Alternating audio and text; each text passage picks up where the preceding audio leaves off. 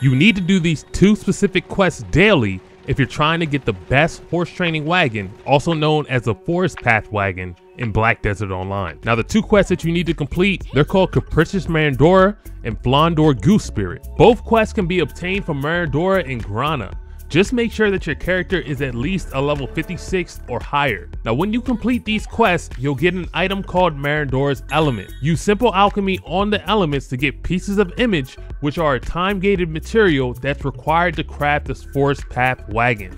You'll need 4,000 of these, so it'll take about 14 days or 2 weeks to get the amount that you need. For the other materials, you can either gather and process them yourself, or you can just get them off the central market if you're lucky. So make sure that you hop on these quests now if you're planning to get the best horse training wagon in Black Desert Online.